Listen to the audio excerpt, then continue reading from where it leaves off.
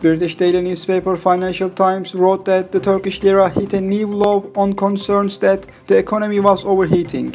Financial Times wrote that President Recep Tayyip Erdogan fueled fears that he would keep chasing high growth despite the Turkish lira hitting a new low on concerns that the economy was overheating.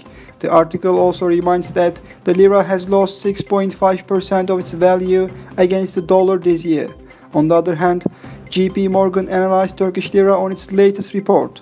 The nation needs a sizable foreign exchange adjustment and credible policy response, which may not be imminent, the bank said in a note released. The report also states that Turkish lira may drop to $4.22 and 5.26 euro.